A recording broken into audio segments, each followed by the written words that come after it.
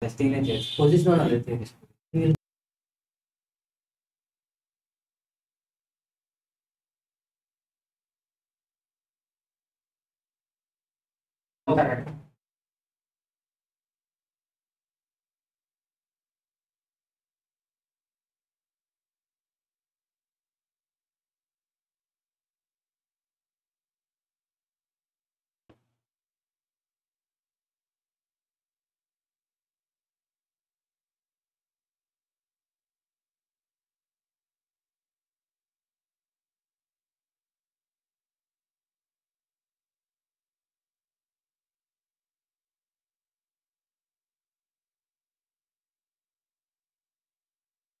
Hello guys, this is Dr. Uh, Sriteja.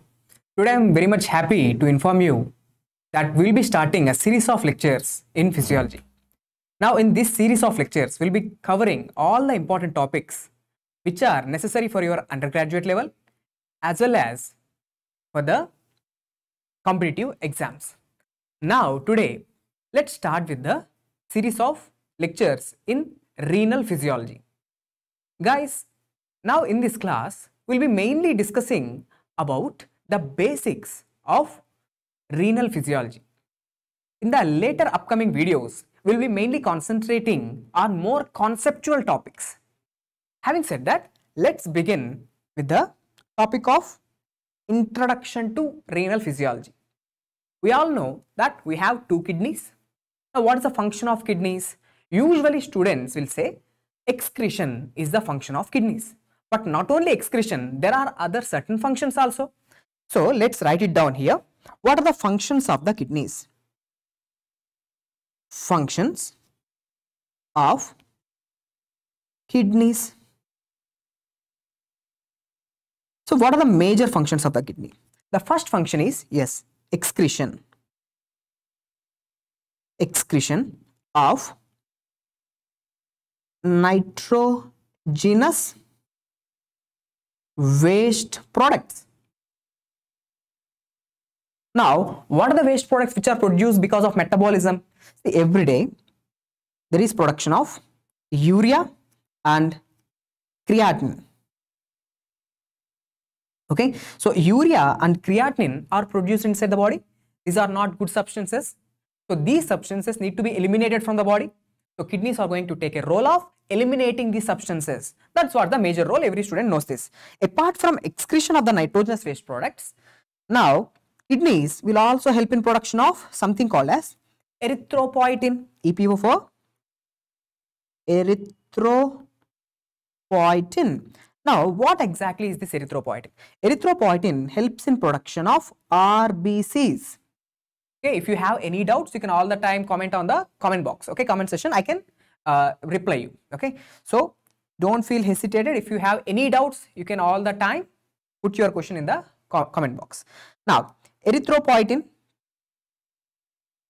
Erythropoietin is produced by the kidneys. Now, if you ask me in specific, so in the kidneys, erythropoietin is produced by which cells? Erythropoietin is produced by the peritubular capillaries. Okay, so there are certain blood vessels called as peritubular capillaries. Now, if you ask me what exactly are these peritubular capillaries, remember guys, now I am just showing you a simple nephron diagram. Okay, See, this is a nephron with proximal convoluted tubule, loop of Henle, descending convoluted tubule, distal convoluted tubule and collecting ducts. Now, the nephron is surrounded by blood vessels. We all know. Now, these blood vessels which are surrounding the nephron, now those blood vessels are called as peritubular capillaries. Yes, now these peritubular capillaries are the ones who produce erythropoietin. So, erythropoietin is produced by the kidneys everyone knows. But which cells? Peritubular capillaries are the peritubular capillaries are the blood vessels which are helping in the production of erythropoietin. Erythropoietin helps in production of RBCs. Second function is completed. The third function of kidneys is renin. Okay, renin secretion. Okay. Now, renin helps in increasing the bp or helps in maintenance of bp now this renin is produced by the kidneys which cells in the kidneys or which cells in nephrons are producing this renin renin secretion is under the control of jg cells now jg cells are also called as juxta glomerular cells. Now, juxtaglomerular cells are the ones which actually produce renin. Now, what is the function of renin? Renin maintains the blood pressure. How it will maintain the blood pressure? We'll see in a moment. But first, let's complete all the other functions. Now, the fourth function of the kidney is activation. Activation of vitamin D okay normally vitamin d is something which is produced in the actual the production the precursors of the vitamin d are produced in the skin but the activation of vitamin d ultimately happens in kidney.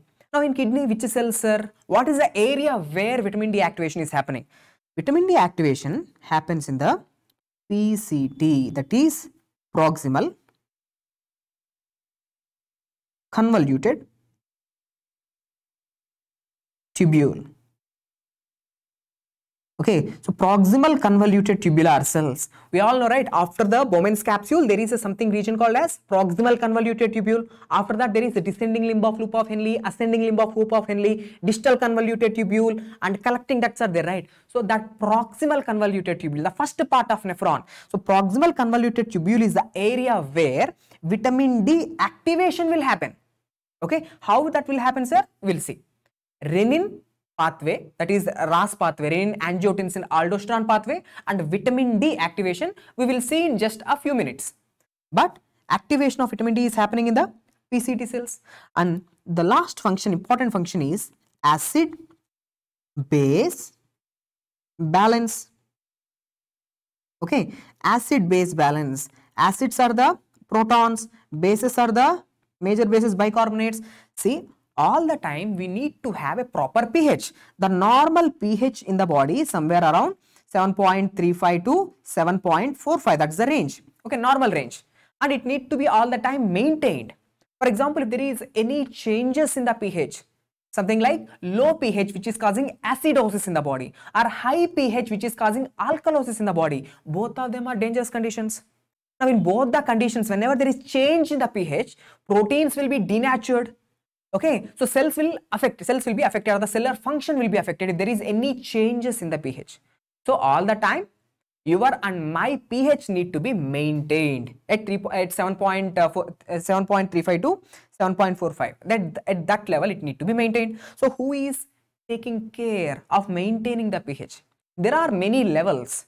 Something like see there are buffers in your blood which are maintaining the pH. Even lungs can maintain your pH. And also remember kidneys are also having a role by which they can maintain the pH. Okay, so kidneys can also maintain your acid base balance. Okay, there are also other other systems like buffers, lungs, kidneys, GIT. They can also maintain the pH, but as our topic is right now kidneys, kidneys can also maintain the pH. That we will discuss in the later topics. So these are the functions of the kidneys. Just try to recap what are the functions of the kidneys guys. First one, excretion of nitrogenous waste products. Second one, production of renin. Third function, production of erythropoietin. Fourth function, activation of vitamin D. And fifth function, maintenance of acid-base balance. Okay. Now, having said that, now let's talk about activation of vitamin D. Activation of vitamin See, someone is asking, uh, will the video be saved? Ashish, yes, the video will be saved in the YouTube. You can watch it again and again also. Okay, you just ask me if you have any doubts. Okay, this is a live interactive class. This is not a recorded class. You can ask me any questions like, you know, activation of vitamin D. Okay, yeah, uh, someone is asking Malar, you are asking me about the acidification or like alkalosis. Yes, we will discuss. See, whenever your blood pH, if it is coming to 6, 5, that condition is called as acidosis. Or whenever your blood pH is increasing or it, if it becomes 8, 9, that is called as alkalosis. So both this acidosis and alkalosis will be discussed in the subsequent videos. This is not a proper time to discuss about acidosis or alkalosis because this is all about the introduction. Okay, this is an introductory video. In detail about acidosis and alkalosis we will discuss later. Okay. Now first let's talk about activation of vitamin D.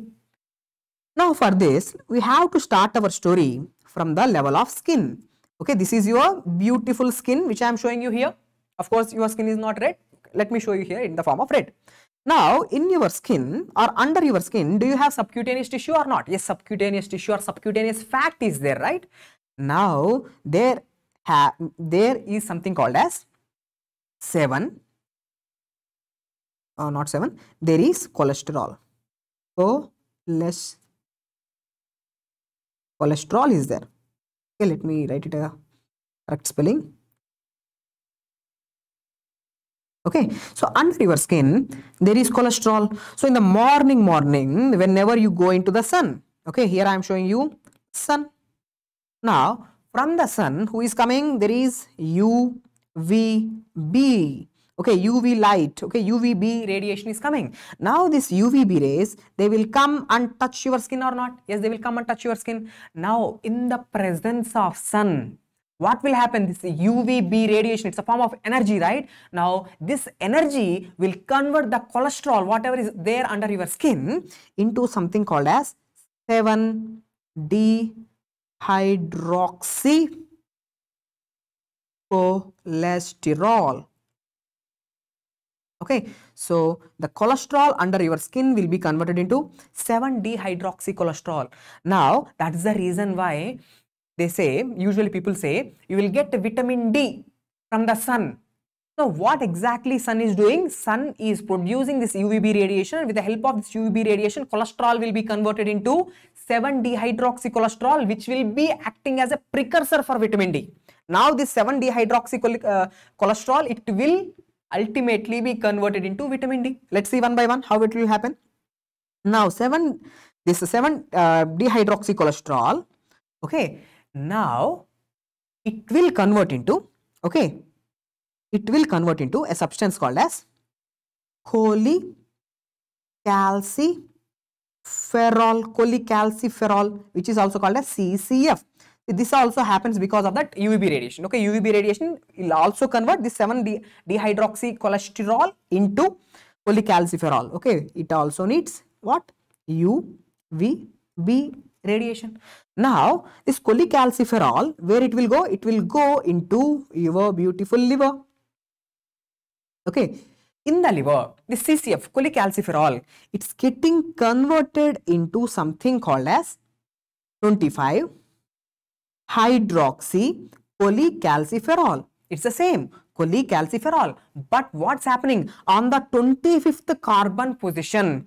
Hydroxylation is happening. So the cholecalciferol which entered into the lung, so not lung, which entered into the liver, it got hydroxylated. Hydroxy group is added on the 25th carbon position. So it became 25 hydroxy cholecalciferol. Now the question is, first hydroxylation in the process of vitamin D activation happens in which organ? First hydroxylation in the process of vitamin D activation is happening in the liver. Okay. So first hydroxylation is happening on which carbon position? 25th carbon position. Now what happened to this 25 hydroxy cholecalciferol? This 25 hydroxy cholecalciferol now it will go to your kidneys. Okay, our topic kidneys. Now in the kidneys, this 25 hydroxy cholecalciferol, it will go to PCT, proximal convoluted tubular cells. Now what's happening? This 25 hydroxycholecalciferol, it will be converted into 1 comma 25 dihydroxy, okay, dihydroxy cholecalciferol. Okay, in the PCT, this 25 hydroxycholecalciferol is converted into 1 comma 25 dihydroxycholecalciferol. Okay, in the PCT with the help of which enzyme? The help of alpha 1 hydroxylase. OH means hydroxy. So, with the help of alpha 1 hydroxylase in the PCT cells, the 25 hydroxycholecalciferol, which is inactive vitamin D, this is inactive. This is inactive vitamin D will be converted into active. vitamin D. Now answer my question. What is the active form of vitamin D? The active form of vitamin D is sir that is 1 comma 25 dihydroxycholecalciferol. Now what exactly is happening in the PCT of the nephrons? Sir in the PCT of the nephrons with the help of enzyme alpha 1 hydroxylase there is second hydroxylation is happening. See previously there is only hydroxylation on one uh, oh, previously there is uh, hydroxylation only on the 25th carbon side. Now in the PCT hydroxylation is also going to happen on first carbon position. That's why we are calling it as 1 comma 25 dihydroxy. So two hydroxylations are happening and the two hydroxylations are happening on the carbon number 1 that, that is the reason why 1 and 25th carbon. So 1 comma 25 dihydroxy cholecalciferol which is nothing but active form of vitamin D. Now this active form of vitamin D there is one more name. What is the other name for this active form of vitamin D? It is called as calcitriol. Calcitriol. Don't say calcitonin. Calcitonin is absolutely different. Active form of vitamin D is also called as calcitriol. Now, what is the function of vitamin D? Just tell me. You just try to answer. Guys, what is the active form of vitamin D? What is the function of active form of vitamin D? I am asking you. Anyone? It helps in, it helps in, yes, calcium absorption, calcium absorption as well as phosphate absorption. Okay, so helps in both calcium as well as phosphate absorption. So this vitamin D, it's getting activated in the kidney it will go to your GIT. It will go to your GIT mucosa. In the GIT mucosa, it helps in calcium as well as phosphates absorption. So remember for your entire life, vitamin D helps in absorption of both calcium as well as phosphates. Okay. So calcitriol increases calcium and phosphate absorption. Now, I'm just want you to know, I just want you to know what is calcitonin. Calcitriol is getting activated in the kidney, no doubt. Now my question is, from where this calcitonin is coming and what is the function of calcitonin? Sir, calcitonin, it is coming from thyroid gland. Thyroid gland. Now you will get it out. Sir, thyroid gland is helping in the production of thyroid hormones T3 and T4. But remember, in the thyroid gland, let me show you, in the thyroid gland, there are two types of cells. There are cells called as follicular cells and there are also cells called as para follicular cells. Now, follicular cells are the ones which are helping in the production of T3 and T4, that is the thyroid hormones. Parafollicular cells are the ones which are helping in the production of calcitonin. Calcitonin. Now tell me, calcitonin is produced by which gland? Thyroid gland. What are the cells helps in production of calcitonin? Parafollicular cells. Now what is the function of calcitonin? Calcitonin decreases the blood calcium level. Calcitonin is exactly working opposite to vitamin D. So write it down here guys. Calcitonin decreases the blood calcium levels. Calcitriol, vitamin D increases the blood calcium levels. Now here I just want to, uh, I just want you to know a few more important points regarding the calcium homeostasis. Okay. See, I just want you to answer. I want you to answer what is the other hormone involved in increasing the blood levels of calcium? Vitamin D increases the blood, blood levels of calcium, no doubt.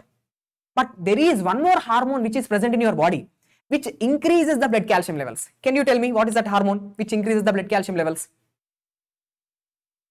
Excellent, excellent. Parathyroid hormone. Excellent, Isha. It's the parathyroid hormone from the which glands? Parathyroid glands. Parathyroid glands are there, right? See, in the parathyroid glands, okay, back to your thyroid gland, back to the thyroid gland, there are four parathyroid glands. And what are the cells present in parathyroid glands? The cells in the parathyroid glands are called as chief cells okay chief cells. Now this parathyroid hormone uh, the uh, the chief cells of parathyroid glands they are the ones producing the parathyroid hormone. Parathyroid hormone also increases the blood levels of calcium. So at the end of the day what i want you to know is sir vitamin d3 okay let me write it down here.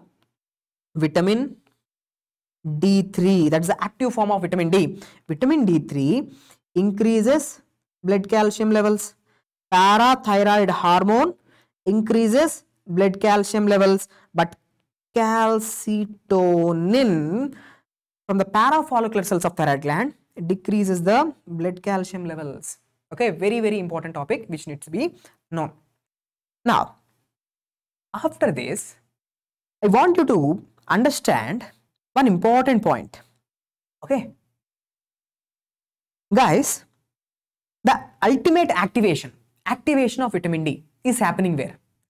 Activation of vitamin d is happening in the pct cells no doubt. With the help of which enzyme? The enzyme which is helping in the activation of vitamin d is alpha 1 hydroxylase. My question is this alpha 1 hydroxylase activity will be controlled with the help of a hormone which means there is one hormone which will activate the function of alpha 1 hydroxylase. Now what is that hormone first of all just think logically just think logically. For example if alpha 1 hydroxylase is activated means vitamin d will be activated. If there is activation of alpha 1 hydroxylase vitamin d is activated. Now when vitamin d is activated blood calcium levels will be elevated. Now tell me which hormone increases which hormone want to increase the blood levels of calcium? Yes parathyroid hormone. So remember we all know parathyroid hormone increases the blood calcium levels. How? How? Parathyroid hormone have many actions many actions out of which the most important action is parathyroid hormone will activate the alpha 1 hydroxylase. When alpha 1 hydroxylase is activated what alpha 1 hydroxylase will do? Alpha 1 hydroxylase will convert see it will convert inactive vitamin d into active form of vitamin d. When the vitamin d is activated it increases the calcium absorption. When calcium absorption is increased it increases the blood calcium levels. Okay so that's how the entire system works. So at the end of the day what's the question that will be asked in your exam? Alpha 1 hydroxylase activity is regulated by alpha 1 hydroxylase activity is regulated by the parathyroid hormone. Okay keep that one point in mind.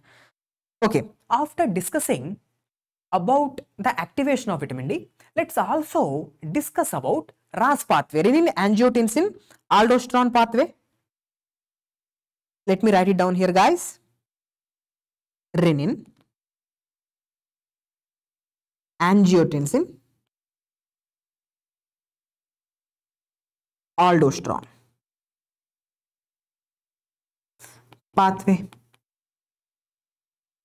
okay renin angiotensin aldosterone pathway which is also called as ras pathway that is renin angiotensin aldosterone system.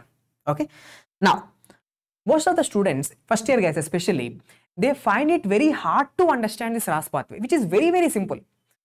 Remember for your entire life what is the main function of this ras pathway? Ras pathway function is to increase your bp or the maintenance of the bp i should i shouldn't say increase the bp maintain the bp how ras pathway will maintain your bp or how it will bring back the bp to normal.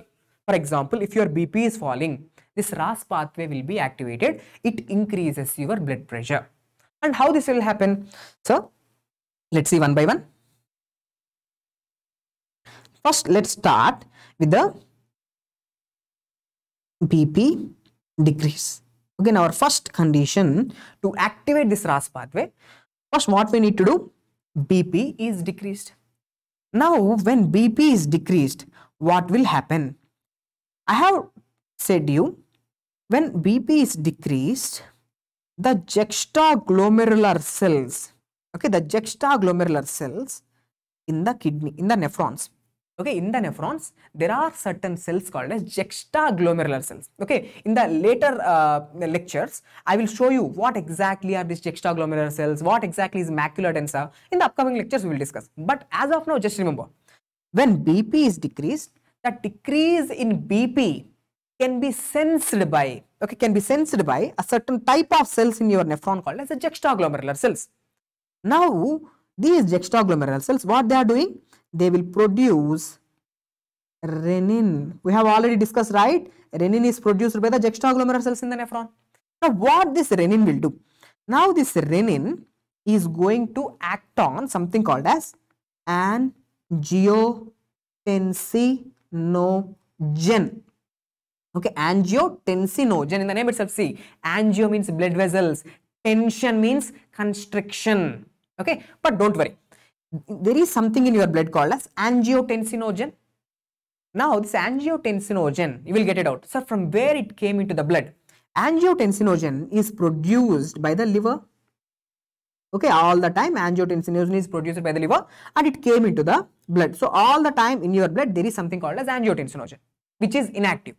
Now, when renin acts on angiotensinogen, this angiotensinogen will be converted into angiotensin 1, angiotensin 1. Now, this angiotensin 1, where it is present? It is present in blood only. Now, this angiotensin 1, it will go to lungs. In the lungs, specifically, what is the specific area? Pulmonary capillaries. Okay. So, in the lungs, in the pulmonary capillaries, there is a very important enzyme present. What is that important enzyme present? ACE, angiotensin converting enzyme. Now, this angiotensin 1, it will go to the lungs. In the lungs, there is enzyme called as angiotensin converting enzyme. It converts angiotensin. So, angiotensin 1 is going to lungs. In the lungs, angiotensin 1 will be converted into angiotensin 2. So, at the end of the day, what we are left with, sir? We are left with something called as angiotensin 2. Now, first of all, just think logically. What is the problem? Sir, problem is decreased BP. BP of the person is going down. Why BP of the person is going down? Might be because he is having some hemorrhage. Okay, uh, he is traveling, he is traveling on a motorcycle, he had a road traffic accident. Now he is having hemorrhage. Okay, now hypovolemia is there from his body, blood is losing. Now he is having hypovolemia, he is losing blood, so also his blood pressure is going down. Okay, blood pressure is going down. When blood pressure is going down, his body need to bring back the blood pressure to normal. So that's what our problem is. See, BP is going down. So what his body should do, what his kidney should do, kidneys also helps in maintenance of BP via RAS pathway.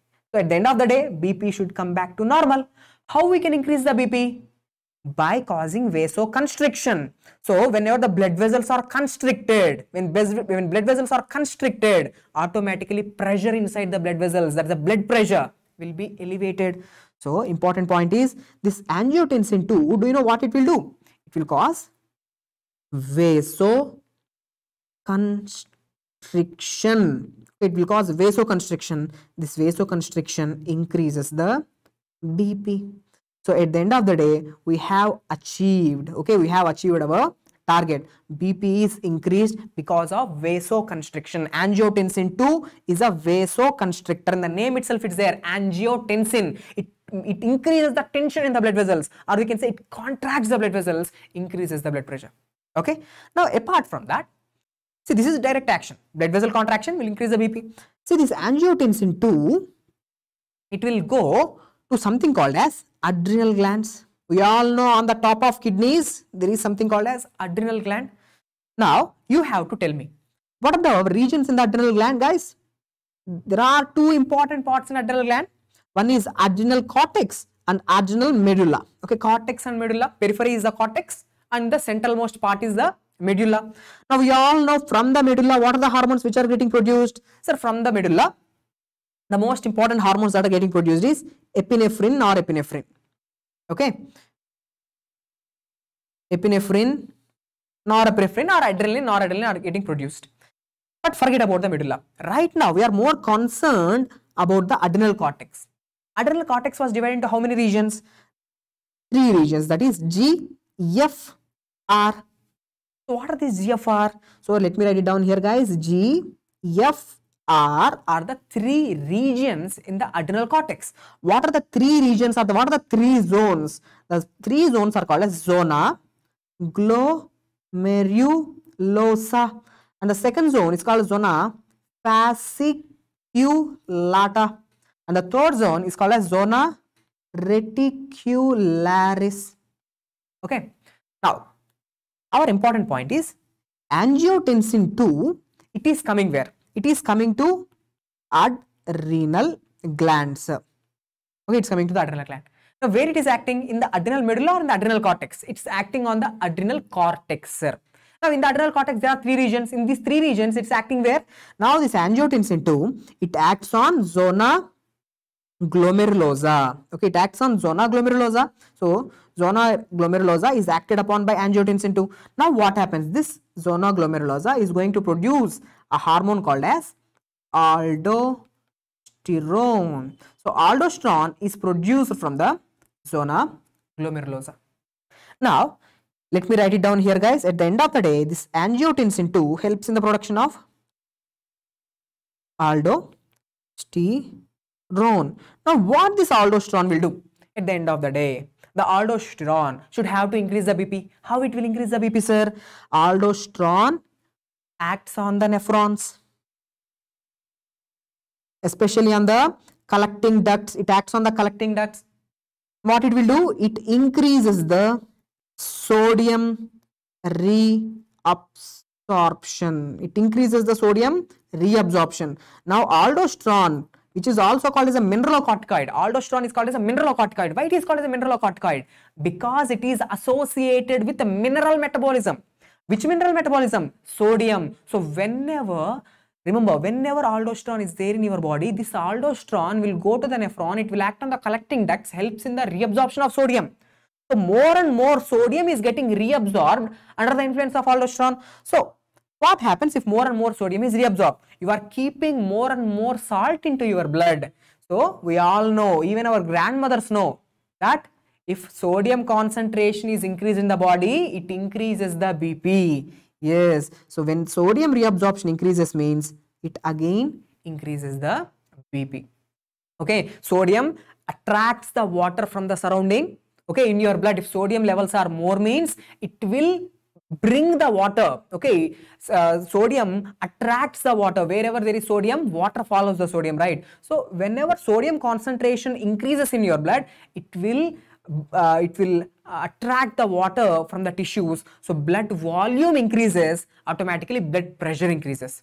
So at the end of the day what i am saying is when ras pathway is activated with the help of angiotensin 2 blood vessels will be undergoing vasoconstriction increases the bp also this angiotensin 2 acts on the adrenal gland helps in production of aldosterone. Now this aldosterone increases the sodium reabsorption. Now whenever the sodium reabsorption happens that also increases the bp so these are the two important uh, okay uh, uh, cycles which you need to know. One is vitamin d activation and second one is ras pathway. Okay guys if you have any doubts please ask me. Like i'm just uh, uh, seeing your comments if you have any doubts you can all the time ask me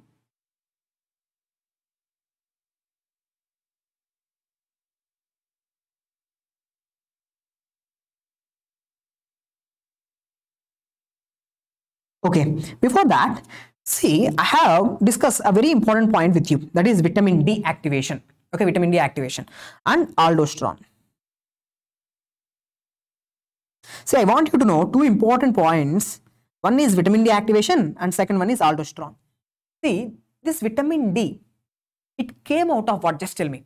Sir, vitamin D is something which have synthesized from the cholesterol, right?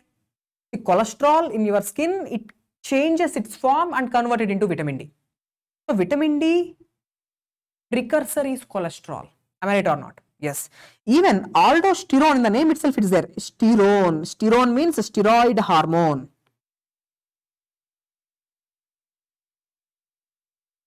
Now, important point I want you to know is, see for both the vitamin D as well as aldosterone, the precursor molecule is cholesterol. Cholesterol. Now, why this is important, sir? Why you need to know this? Is because See, any hormone which is made out of cholesterol. See, there are other hormones which are made out of cholesterol, something like um, uh, sex corticoids, estrogen, progesterone, testosterone, okay, uh, cortisol. There are other hormones also which are made out of cholesterol. But here, as of now, we just discussed about the vitamin D, aldosterone. Now, their precursor molecule is cholesterol. Now, what is the importance?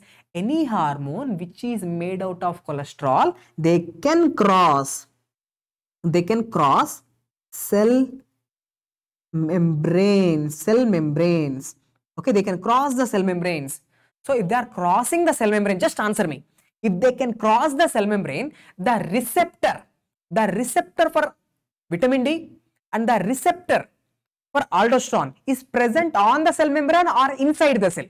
Okay if i have to show you one cell see this is a cell. Usually what students will think sir the receptor is there on the cell surface. Okay the receptor is present over here. That is called as a cell surface receptor. But remember right now we are discussing about uh, just me one minute guys. Right now we are discussing about those hormones which are made out of cholesterol. If they are made out of cholesterol i have said you the steroid hormones vitamin d as well as aldo. Aldosterone they can cross the cell membrane. So the receptors of vitamin d as well as aldosterone is present in the cytoplasm okay very important point. I want you to know the receptors of vitamin d and aldosterone are present in the cytoplasm. So the, at the end of the day the important point to be noted is steroid hormones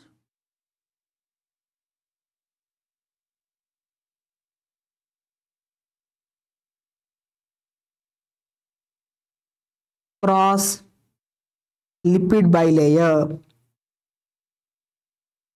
okay it crosses the lipid bilayer or cell membrane.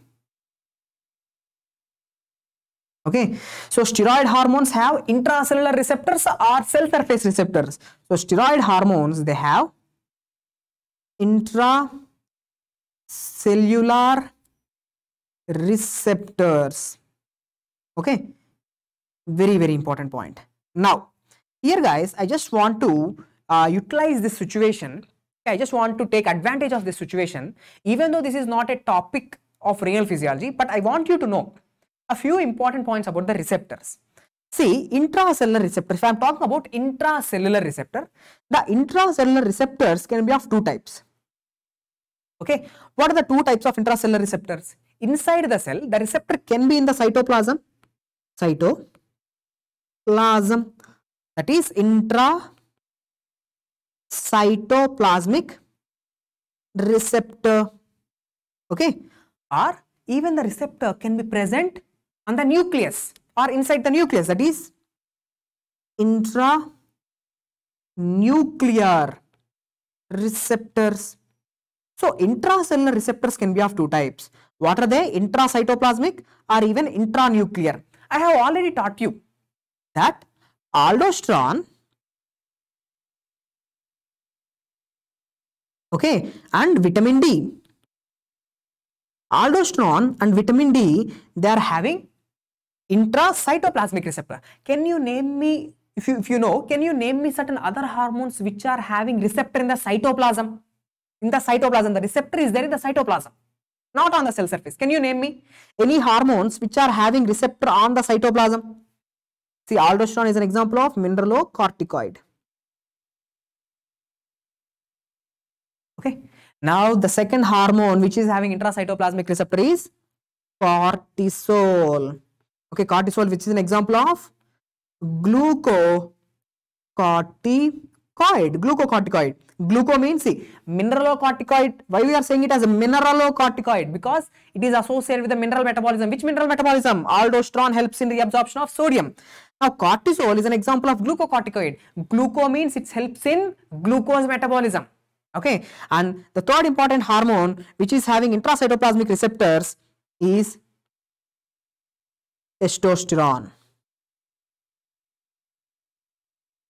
Okay so testosterone that uh, sex hormones are also having the sex hormone is also having intracytoplasmic receptor. So aldosterone cortisol testosterone and vitamin d they are having intracytoplasmic receptors. And can you name me what are the hormones which are using intranuclear receptors if you are really good just name me. There are actually four important substances for which the receptor is present in the nucleus.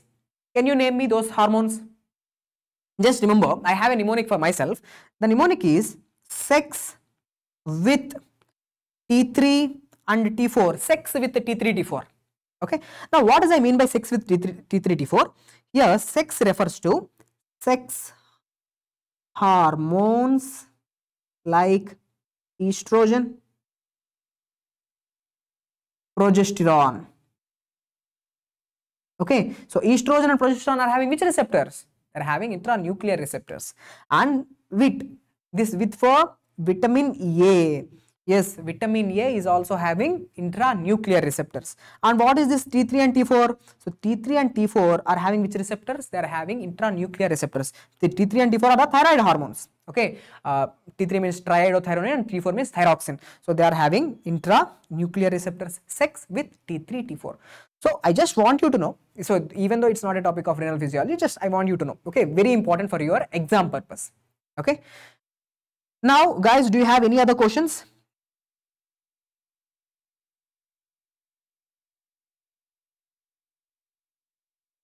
Yeah, that's a, that's what the mnemonic. Okay, sex with t3 t4 is just a mnemonic so that you can easily remember.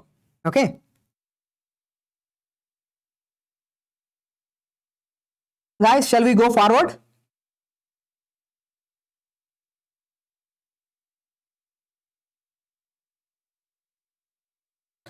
Now, see, one important MCQ for your exam purpose, exams in the RAS pathways, they will ask you, what is the stimulus for the activation of RAS? The kind of question that will be coming in your exam is, all of the following will activate the RAS pathway except, all of the following will activate the RAS pathway except. Now just tell me, see in the pathway itself I have clearly shown you what is the first stimulus for the activation of RAS. See the entire RAS pathway started with decrease in BP. So very very important point is take down here the first stimulus for the activation of RAS pathway is decrease BP. Okay, so hypotension. Hypotension is a stimulus for the RAS pathway activation. Second question. Is there is any other stimulus for activation of RAS? Guys, remember, normally RAS pathway increases the BP or not? Yes, RAS pathway increases the BP. RAS pathway increases the BP by sodium reabsorption or not? Yes, sodium reabsorption. So, when RAS pathway is activated, sodium reabsorption is increasing. Now, just tell me, if there is hyponatremia, the blood levels of sodium is falling down. Now, in those conditions also RAS pathway will be activated or not? Why? Because one of the function of RAS pathway is to increase the sodium reabsorption. So, if there is hyponatremia in your body, then also it will stimulate the RAS pathway. Okay. So, very important point is the second stimulus for the RAS pathway activation is hyponatremia. Okay. Second. Now, third, there is one more stimulus for the activation of RAS pathway. What is that? Okay, let me write it down here. First stimulus is hypotension. Second stimulus is hyponatremia. Natremia, hyponatremia means decreased sodium levels in your body. Whenever decreased sodium levels in your body is there, that will activate the RAS. Whenever the BP is going down, that will activate the RAS. Now, third important point is see, sympathetic sympathetic activation. Okay, now I'm asking you one question, guys. When sympathetic activity is there in your body, if I ask you, when sympathetic activity is there in your body, will it increase the BP or decrease the BP? Sir, in a fight or flight situation, okay, when a dog is behind you, or um, uh, whenever you got caught by your girlfriend in a not uh, in a naughty situation, Okay, now what happens in your body? Sympathetic activation is going to be there. Now, when sympathetic activation is there, it increases the BP or not? Yes, sir, it increases the BP. How? How means? See, when sympathetic activation is there, sympathetic neurons they will produce what? Sympathetic neurons they will produce noradrenaline. Okay, adrenaline, noradrenaline. Now, this do you know this noradrenaline? It will come to kidneys okay it will come to nephrons now we know in the nephrons there is something called as juxtaglomerular cells right the juxtaglomerular cells Now remember for your entire life, on the surface of this juxtaglomerular cells, okay, on the surface of these juxtaglomerular cells, there are certain receptors, sir. Okay, let me show you with a different color. Now, on the surface of these juxtaglomerular cells, there are receptor called as beta 1 receptors. Okay, beta 1 receptors. Now, this norepinephrine or noradrenaline, it will come and it will bind to this beta 1 receptor. Now, whenever this beta 1 receptor is activated, then also, then also, these juxtaglomerular cells produce renin. Now, you all know when renin is there, automatically it increases the BP. So, now tell me, what are the three important stimulus? The three important stimulus for the RAS pathway activation, one is hyponatremia, one second, uh, that's uh, hypotension, hyponatremia as well as sympathetic activation. Now question is, what are the sympathetic receptors? Sympathetic system is also called as adrenergic system. So I can say something like this. What are the adrenergic receptors which are present on the juxtaglomerular cells? The sympathetic receptors are the adrenergic receptors which are present on the juxtaglomerular cells are beta 1 receptors. Now, second type of question that they can ask you. Activation of beta 1 receptors will cause hypotension or hypertension. Activation of beta 1 receptors will increase the BP, hypertension. Okay. Now, I just want to integrate with a little bit pharma. Okay, little bit pharma integration. So, beta 1 receptors are the sympathetic receptors. Beta 1 receptors are present on the juxtaglomerular cells. Okay. Now, these beta 1 receptors are present any other site? These beta 1 receptors are they present in any other site, sir? Can you tell me? The beta 1 receptors are they present on any other site? Beta 1 receptors. I want you to answer. Yes. Where exactly the beta 1 receptors are present? Heart. Excellent. Beta 1 receptors are present on heart also. Okay. So, so activation of beta 1 will cause what? Tachycardia. Okay. Tachycardia. Beta 1 activation increases the renin levels. Beta 1 activation will also cause heart to beat more times. That is the tachycardia. Okay, guys. Okay. Now, one important point here I want you to know is see, imagine if there is overactivation of RAS, or imagine, let's say something like this. I'm the person who is having hypertension, and the person who is having hypertension. Now, I came to your clinic, you are all very good doctors. I came to you, you have checked my uh, vitals, you have also checked my BP, blood pressure. Now, my blood pressure is somewhere around 150 by 90 or 160 by 90. So, definitely I am suffering with hypertension, right? I am suffering with hypertension. Now, you know only one concept, only one concept you know about RAS pathway. So, by understanding RAS pathway, you can treat my hypertension. How? Just tell me. Sir, whenever there is renin, this renin will increase the BP. Whenever there is renin in the blood, that renin will increase the BP. If you can inhibit the renin synthesis or if you can inhibit the renin, okay, if you can knock down the renin in the in my body, okay, all the time some amount of renin will be there in my body all the time. So if you completely inhibit the renin, what happened to blood pressure? Blood pressure will come down. You can treat my hypertension. Okay, so hypertension can be treated by many ways one of a way to one one such way to decrease the hypertension or to control the hypertension is by using drugs like renin inhibitors so write down here renin inhibitor so what are the renin inhibitors which you know i'm just asking you just tell me can you name me any such drug which will inhibit the renin renin inhibitors guys can you name me Excellent. Aliskirin. Not telmisartan. Telmisartan is absolutely, it's a ACE inhibitor. Okay. Tell me Telmisartan is absolutely different. Aliskirin. Excellent, excellent. Uh, Osama, it's a aliskirin. Aliskirin is the renin inhibitor. Now, after this, let's see a few more important points in the renal physiology. That's the basic points. Now, you should answer renal circulation let's first discuss about the renal uh, blood flow, renal blood flow. Now tell me, who is bringing the blood to the kidneys? Who is bringing the blood to the kidneys? Very difficult question, right? No, it's a simple question. It's the renal arteries. So renal artery is the one which brings the uh, blood to the kidneys. Everyone knows. But important question that will come in your exam is renal arteries are a branch of. Renal arteries, they are coming from what? Renal arteries, they are a direct branch of aorta. For example, if this is aorta, renal arteries are directly coming from the aorta. Okay. So branch of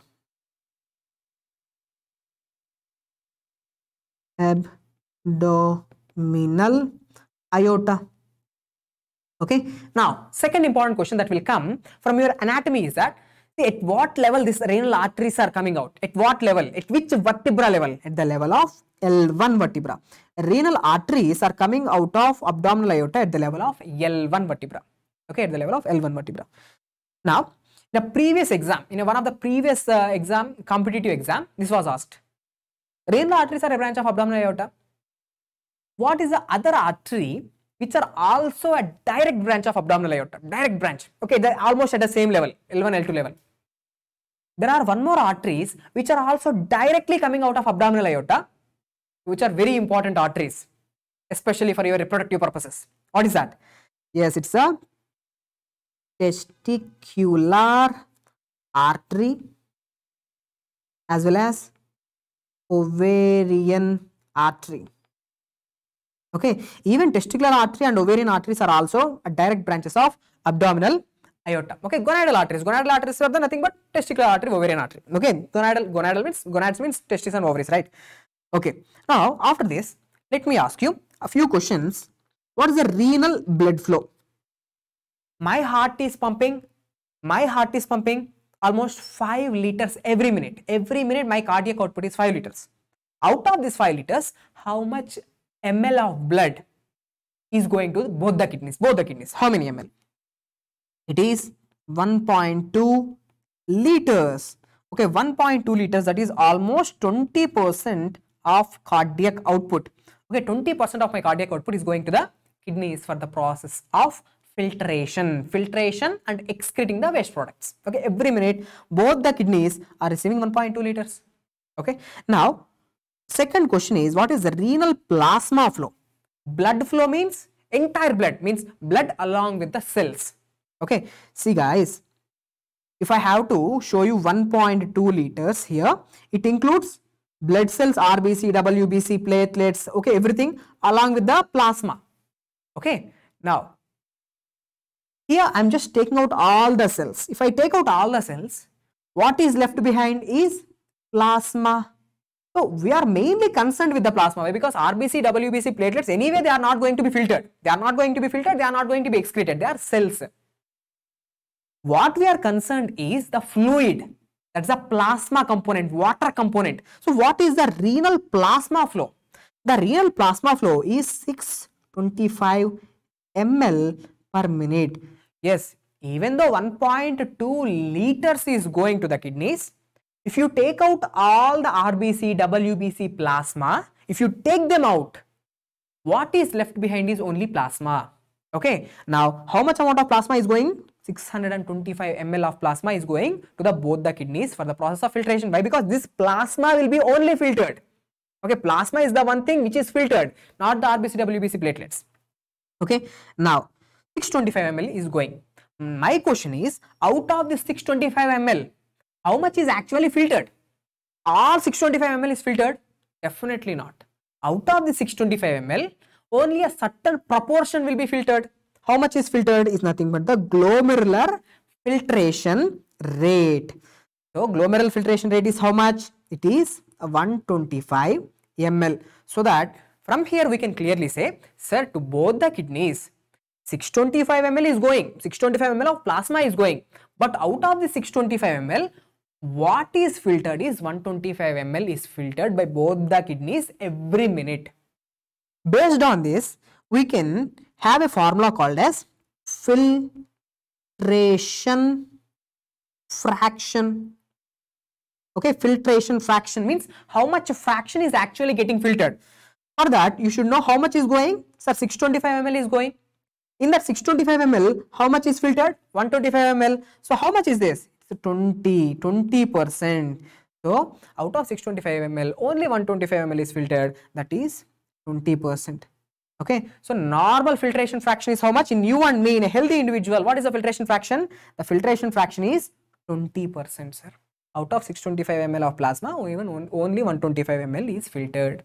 Okay, now here I want you to know two important MCQs just for now as we are discussing about the basics. I just want you to know two important direct single liner kind of questions for your exams. Sir, here I have taught you renal plasma flow is how much? Renal plasma flow is 625 ml. Just like that we have said. And glomerular filtration rate is how much? 125 ml. Sir, how can we know? How can we calculate? Okay. See, by injecting certain substances, we can estimate the renal plasma flow. So renal plasma flow is estimated with the help of which substance? By injecting certain substances into the blood and by taking the sample of that substances in the urine, you can calculate. All that calculations we will discuss in the upcoming lectures. But as of now, the direct single liner kind of question is renal plasma flow is estimated by okay it's estimated by using which substance and GFR is estimated by now, can you tell me? Someone is saying inulin. Yeah, medicos, you are saying inulin. Yes, you are absolutely true. Inulin. Inulin is a marker of GFR. Not only inulin, creatinine. Okay, creatinine. Even creatinine is used as a marker of GFR. And there is one new marker called as cystatin. Okay, cystatin C. Even cystatin C is also a marker of GFR. So, what are the markers of GFR? How can you calculate the GFR? GFR is calculated by inulin, creatinine or cystatin C. How we will calculate? What are the formulas for calculation? Other videos. But now GFR is calculated by these three substances. And also remember the uh, renal plasma flow. Renal plasma flow is estimated with the help of a substance called as PAH. The full form is para amino okay hippuric acid. Okay. So para amino hippuric acid is used to estimate the renal plasma flow. Okay. Now after this let's talk about few basic points about the nephrons. So what exactly are these nephrons? Nephrons are the functional units. Okay functional units in kidneys. Why? Because actually these are the ones who actually do the filtration process. Okay we all know nephrons and their parts also. Okay there is uh, bowman's capsule proximal convoluted tubule descending limb of loop of henle. In the upcoming slides we will discuss that also. But i want you to know two important points here guys. How many types of nephrons are there? There are two types of nephrons are there can you name me what are the two types of nephrons? If you are really good just tell me how many types of nephrons are there. There are two types of nephrons. What are the names of two types of nephrons? The first type of nephron is called as cortical nephrons. Okay don't worry. I will show you what exactly are these. There are nephrons called as cortical nephrons and juxta juxta medullary nephrons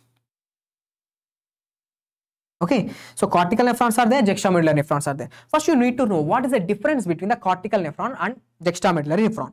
Guys, right now, please concentrate here. I am showing you one renal pyramid. Okay, one renal pyramid. Now you will get it out. Sir, what are these renal pyramids? If you see the cross section of kidney, okay, let me show you the cross section of kidney. Okay, kidney, if you done the cross section, it will be something like this. So here you will be having this renal pyramids. Okay. Now I am showing you one such renal pyramid. Now here the renal pyramids are divided into two parts. We all know even in the kidney the outer part is called as a cortex and when you go deep into the kidney that's called as a medulla. So here I'm showing you one nephron guys. From here, be very attentive. I am showing you one nephron.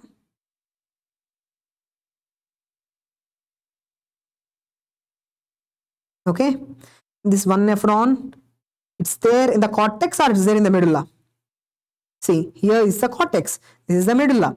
Now I am showing you the first type of nephron, which is mainly present in the cortex. So these type of nephrons are called as the cortical nephrons. Now there is a second type of nephron, which is present just near to medulla and the nephron, the loop of Henle is going deep into the medulla. Okay, its loop of Henle is going deep into the medulla. So this type of second type of nephrons are called as juxtamedullary nephrons. Okay, juxtamedullary nephrons. Why we are calling as juxtamedullary nephrons? Juxta, juxta means side. Okay, just side. So side to the medulla. Okay, so these nephrons are present in the corticomedullary junction, right? So they are present just side to the medulla. They're, the Bowman's capsule is present just side to the medulla. So we are calling it as juxtamedullary nephrons. So there are two types of nephrons. The classification, cortical nephrons and juxtamedullary nephrons, is depends on whether the nephron is present in the cortex or whether the nephron is present in the uh, present near to the medulla. Now, out of this, maximum type of nephrons are cortical nephrons or juxtamedullary nephrons. You just this was a question once asked in an exam. Majority of nephrons are cortical nephrons. Almost 80% of the nephrons are the cortical nephrons. But juxtamedullary nephrons are constituting only to 15 to 20 percent okay? 15 to 20 percent here let's take round figure 20 percent okay? So 20 percent of the nephrons are juxtamedullary nephrons. Now why do we have two different types of nephrons? Okay why do we have two different types of nephrons? See the cortical nephrons are mainly 80 percent of the nephrons. They are mainly helps in production of urine. Okay under a normal circumstances in a normal circumstances everyday day to day life now urine production is mainly because of this cortical nephrons but the juxtamedullary nephrons are there, right? With the loop of Henle going deep down into the medulla, they are mainly helping in concentration of urine. Okay? Concentration of urine. So concentration of direct question. Concentration of urine is mainly done by cortical nephrons or juxtamedullary nephrons. Juxtamedullary nephrons okay as the loop of Henle is going deep down into the medulla right? Now why it is going deep down into the medulla in the medulla there is hyperosmolarity is there. It helps in more and more reabsorption of water. So juxtamedullary nephrons are mainly that we will discuss in detail we will discuss later. But as of now juxtamedullary nephrons are helping in concentrated urine formation. Sir is there is any other difference between cortical nephrons and juxtamedullary nephrons? Yes there is one more difference. Let me show you. Here. Here I am showing you one nephron which is a cortical nephron. Let's take it a cortical nephron. Okay. And this cortical nephron is surrounded by blood vessels or not? Yes, these cortical nephrons are surrounded by blood vessels. Now, these blood vessels which are surrounding the cortical nephrons are called as peritubular capillaries. Okay peritubular capillaries. But if i show you a juxtamedullary nephron okay here i am showing you juxtamedullary nephron. Okay let's take them as a very simple image. Now this is a juxtamedullary nephron. Now even these juxtamedullary nephrons are also surrounded by the blood vessels. Okay i am showing you these blood vessels in a different way. These are the blood vessels which are surrounding the juxtamedullary nephrons now these blood vessels should not be called as peritubular capillaries. These blood vessels, can anyone tell me what is the name of these blood vessels which are surrounding the juxtamedullary nephrons? Can anyone name me these blood vessels? What is the name of these blood vessels? These blood vessels are called as vasa recta. Okay, so what exactly is vasa recta? Now you know vasa recta are nothing but the blood vessels which are surrounding the juxtamedullary nephrons. The blood vessels which are surrounding the cortical nephrons are called as peritubular capillaries. Guys, have we ever uh, studied about peritubular capillaries anywhere in this lecture? Have we ever discussed about the peritubular capillaries? Peritubular in the beginning, beginning. Peritubular capillaries are the ones which produce erythropoietin, helps in the production of RBC. Yes, there we have discussed. Okay, now my question is The, in one of the exam, this question was asked. The loop of Henle is the short for which nephrons? Cortical nephrons or juxtamedullary nephrons? The loop of Henle is the short for cortical nephrons. The loop of Henle is very long and going deep down into the medulla for juxtamedullary nephrons. Okay, know that one point? Now, after this, let's simply write here what is the function of nephron? Function of nephron is filtration. Okay, filtration. What is the normal filtration? The filtration is nothing but glomerular filtration rate 125 ml per minute. See, if your kidneys are filtering 125 ml of plasma per minute means per minute they are filtering 125 ml. So if you calculate calculate it on a daily basis, okay, 24 hours, okay, into 24 hours, okay, per minute there are, uh, sorry, per hour there are 60 minutes. So if you calculate it, it will come around 180 liters per day. So what I'm saying is your kidneys are having a capability to filter almost 180 liters of plasma every day. Okay, so they are all the time filtering 180 liters of plasma. Okay, don't think there is 180 liters of plasma in your body. The same plasma is again and again, again and again getting filtered. So see how good the kidneys are working. So 180 liters of plasma is getting filtered every day. So kidneys are removing the uh, bad substances from your body. Guys, do you have any doubts so far?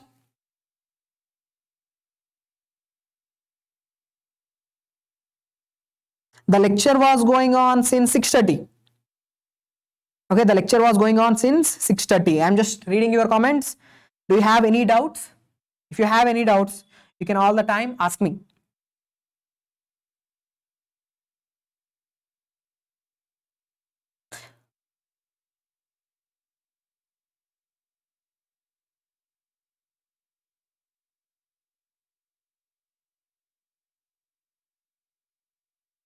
No doubts. So let's continue. Let's continue for the next 15 minutes and let's end the session. Like no this this topic which i am discussing is very very important point which you need to know. Okay the last topic. That's the filtration barrier. Filtration. Filtration barrier. Now what exactly is this filtration barrier and why you should know? So right now i'm going to discuss about one single nephron See, nephron is receiving the blood or not? Yes, nephron is receiving the blood. The artery or the arteriole which is bringing the blood to the nephron is called as afferent arteriole. Please know here, afferent arteriole is the one which brings the blood to the nephron and the blood is carried away by the efferent arteriole. Certain amount of blood is coming. Here filtration will happen in the Bowman's capsule. Here filtration will happen. I will, I will tell you how filtration will happen. But blood is coming to the nephron, to the Bowman's capsule. There filtration will happen and the remaining blood will leave. Now, for the filtration, blood have to, or I should say plasma, plasma have to filtered from the blood vessel and that plasma should have to go into the Bowman's capsule. How this will happen, sir? See, there are certain barriers. Okay, there are certain things which are present in between the Bowman's capsule as well as the blood vessel. What are they? See here, I am showing you one blood vessel. Okay, one such blood vessel here is the blood vessel. Okay. Now, see guys, the one which brings the blood is the afferent arteriole. This afferent arteriole, whenever it enters into the Bowman's capsule, it divides into many, many capillaries. See, it is dividing into many, many small, small capillaries. These capillaries are called as glomerular capillaries. So, right now I am showing you this blood vessel which is glomerular capillary. So, here will be your plasma. Okay, here will be the plasma. So, please take it down here. The plasma is present over here. So rbc wbc plasma everything are present in this area. Okay? Now now this plasma with the waste products it needs to come out. It needs to come out from the blood vessel into the Bowman's capsule. For that, see, there are certain barriers, there are certain structures which are present in between. Now, these structures together are called as filtration barriers. Now, what are they? The first structure here is see what is this? This is nothing but blood vessel. So, the blood vessel, these endothelial cells, the endothelial cells of the blood vessel Are the first layer. So, glomerular filtration barrier, it consists of capillary,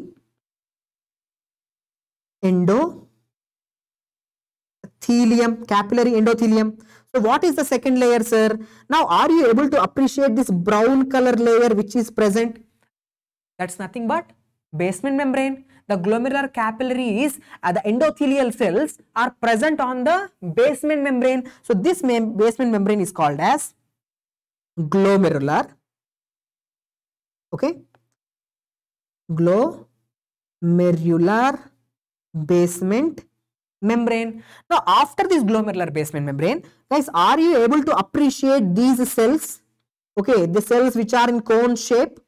Now, these cone shaped cells are called as podocytes. Podocytes. So, the three structures which are present in the glomerular filtration barrier are the capillary endothelial cells, glomerular basement membrane as well as the podocytes. Now, please see here guys. Here is the capillary lumen. Okay, this is the cap. Imagine this is the blood vessel capillary. Okay, capillary. Now, in the capillary lumen, who are they? In the capillary lumen, there is WBC is there, RBC is there, plasma is there. Now, here is the Bowman space. Here is the Bowman's space. Okay, just like this. Here is the Bowman space. Okay, here is the Bowman space. Now, this plasma need to be filtered down. This plasma needs to come down like this. So, what are the structures which are present? In this image, it, you can clearly see what the structures are. The first structure is this endothelial layer. The endothelial layer is there. Now, this is the first layer. Second layer, this green color layer is the glomerular basement membrane. Now, down to glomerular basement membrane, are you able to appreciate these cone-shaped cells? These cone-shaped cells are nothing but the podocytes. So now tell me what are the three layers which are present?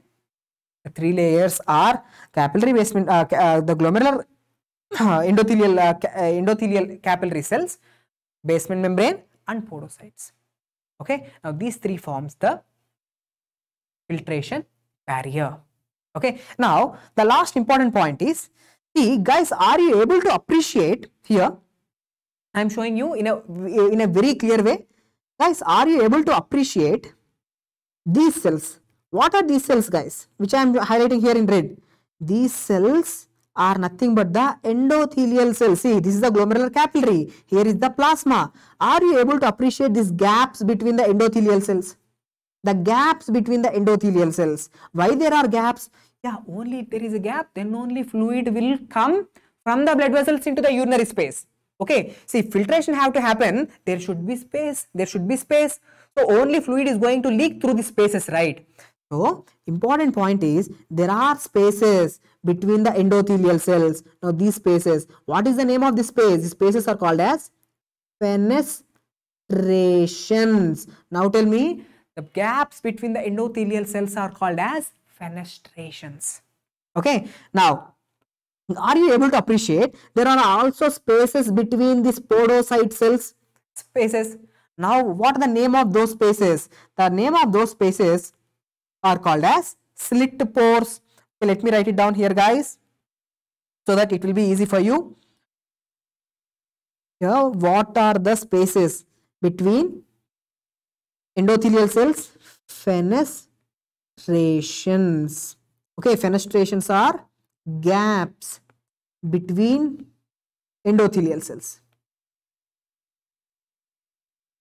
Okay endothelial cells.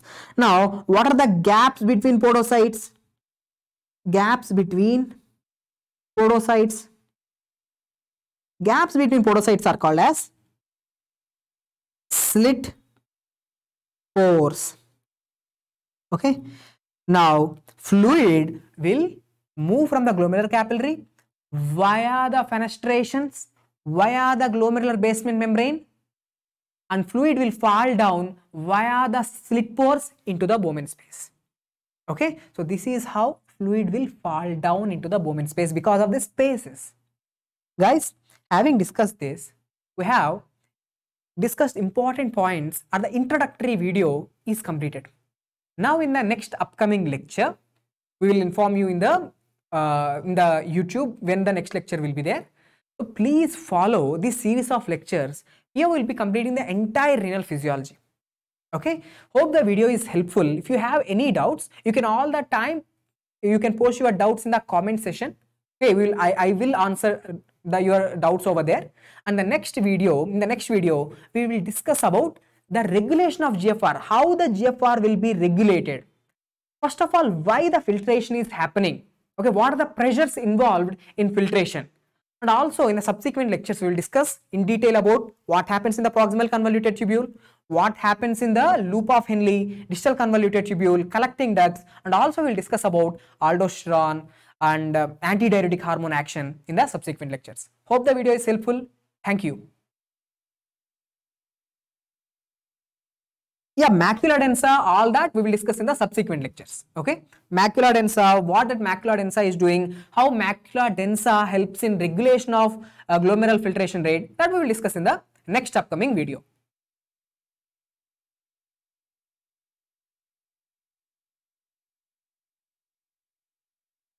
Okay guys hope the video is helpful. See you in the next video